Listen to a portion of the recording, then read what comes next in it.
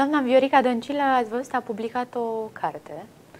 Uh, dânsa, am, înțeleg că n-am, n-am apucat să o citesc, că face tot felul de dezvăluiri din uh, epoca, da, dacă pot să o numesc așa, Liviu Dragnea. Da, înțeleg că este un dialog pe care l-a avut cu un jurnalist, jurnalistul scriind cartea ulterior. Um, fiecare om are dreptul la propria părere. Așa cum scrie și carte, titlul cărții, dacă nu mă știu, este partea dânsei de adevăr. Fiecare are uh, versiunea sa. Uh, pentru noi este important să mergem înainte.